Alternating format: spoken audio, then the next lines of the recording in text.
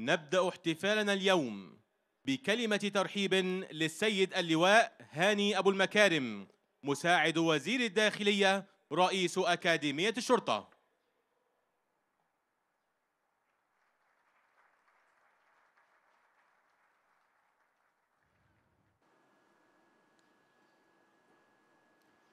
بسم الله الرحمن الرحيم.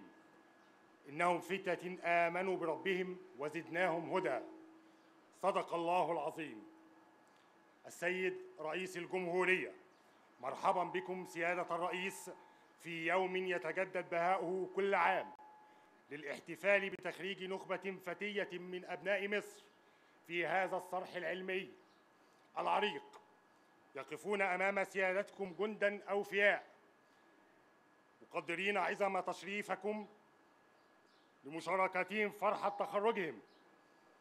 يسترجعون أمام أعينهم طيفا من الذكريات بدأت بحلم راودهم أطفالا بأن يكونوا ضباطا مدافعين عن مقدرات الوطن غايتهم تحقيق الأمن والأمان وحماية شعب مصر العظيم ومقدراته. فمرحبا بك سيادة الرئيس بين رجالك وأبنائك قائدا وقدوة ركنا ركينا للعطاء والتضحيات. الحضور الكريم. تسير الأكاديمية وفق استراتيجية جادة محددة الأهداف. واضحة المقاصد. غايتها مواكبة ركب التقدم في شتى المجالات. حيث تم الانتهاء من تطوير مجمع التدريب التكتيكي بكلية الشرطة الذي يضم العديد من الميادين التدريبية التي تم ربطها جميعا بمركز للتحكم والسيطرة. وتزويده بأحدث الوسائل التكنولوجية بما يكفل متابعة وتوجيه المتدربين في جميع الميادين في آن واحد وصولا لنتائج تدريبية متميزة. ولم تكن استراتيجية الأكاديمية بمنأى عن متجه الدولة المصرية نحو التوسع في نهج التحول الرقمي حيث تم الانتهاء بنجاح من تصميم وإعداد برنامج لتقييم طلبة كليات الشرطة إلكترونيا. يعمل على تقديم صورة وصفية وتحليلية متكاملة لكل طالب دون تدخل من العنصر البشري. واستمرارا في إنفاذ خطة الأكاديمية التي ترتكز في أحد محاورها الجوهرية على تطبيق نظام التخصص الوظيفي تم تكوين عدد, ست فرق للبحث والإنقاذ من الفئة الخفيفة من طلبة السنوات النهائية في تخصص الحماية المدنية. والذين تم إعدادهم وتأهيلهم وفقا لمعايير التصنيف المعتمدة دوليا.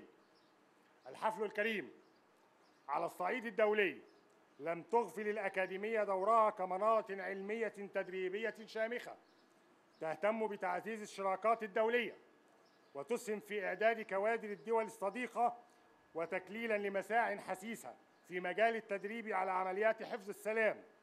فقد اعتمدت مفوضية الاتحاد الأفريقي المركز المصري للتدريب على عمليات حفظ السلام كأحد مراكز التميز لديها لتدريب كوادر المكون الشرطي المشارك بتلك العمليات على مستوى القارة الإفريقية. الأمر الذي جعل من المركز نموذجا مشرفا يليق بمكانة مصر ودورها. السيدات والسادة لقد مضت الأكاديمية في طريقها نحو تحقيق ما تصبو إليه من إتقان في صقل قدرات وتنمية مهارات أبنائها. بما يتناسب مع حجم الأمانة وعظم الرسالة فكان الحرص على الاستمرار في إنفاذ برنامج التدريب المشترك مع طلبة الكلية الحربية الذين يقفون اليوم وسط أشقائهم من أبناء كلية الشرطة ليشهدوا يوما. هو بحق للخريجين عيدا ولأسرهم فرحة وللوطن فخرا وعزة حفلنا الكريم اليوم تشاركوننا احتفالنا بدعم وزارة الداخلية بكوكبة جديدة من صفوة شباب مصر وخيرة جندها حيث يتم تخريج 1273 من طلبة كلية الشرطة بنظام الأربع سنوات. من بينهم 48 طالبا وافدا من دولتي فلسطين وتشاد.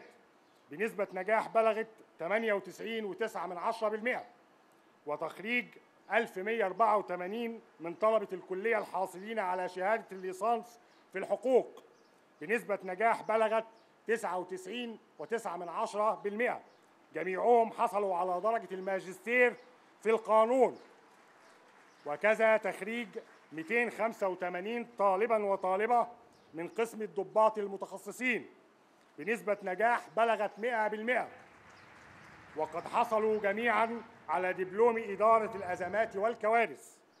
كما يتخرج اليوم عدد 12 طالبا من رعايا الدول الإفريقية الناطقة باللغة الإنجليزية وهي جنوب السودان زامبيا سيراليون ليسوتو الكاميرون. في إطار المنحة الدراسية التي تقدمها وزارة الداخلية للدول الإفريقية سنويا بنظام العامين الدراسيين. يضاف إلى ما سبق تخريج 156 ضابطا ممن حصلوا على الدبلومات الشرطية التي تمنحها كلية الدراسات العليا. منهم 34 ضابطا وافدا من دول البحرين السودان العراق فلسطين الكويت اليمن. بنسبة نجاح بلغت 91.7%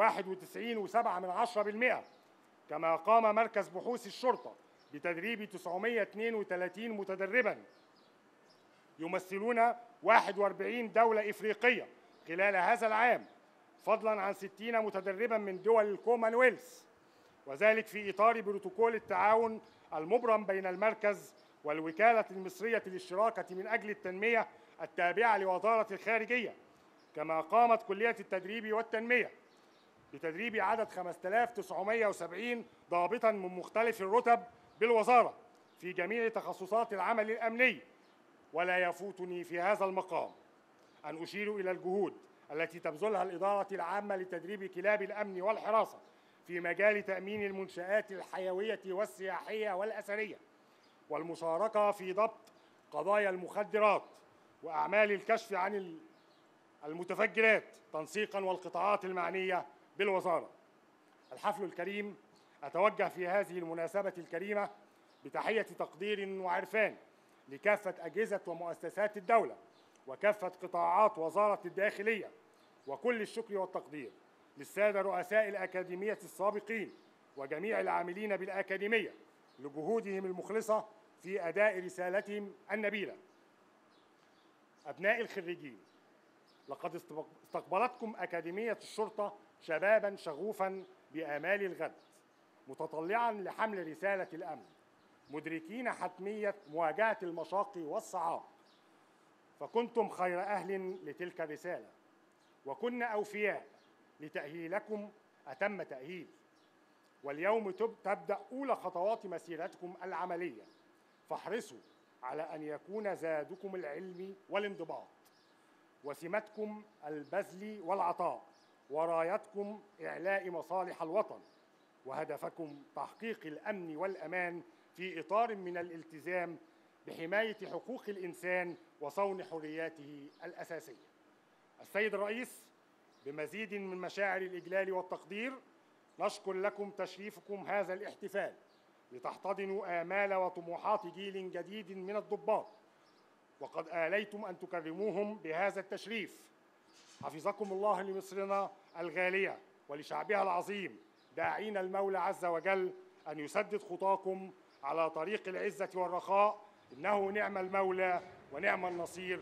والسلام عليكم ورحمة الله وبركاته. هدية تذكارية. تتمثل الهدية في جدارية تحمل خريطة جمهورية مصر العربية. يتوسطها نهر النيل العظيم شريان الحياة للبلاد. وأمامها شعار وزارة الداخلية الذي يرمز إلى الأمن والسلام. نسأل الله تعالى أن يحفظكم يا سيادة الرئيس. ويسدد على الحق خطاكم. إنه نعم المولى ونعم النصير.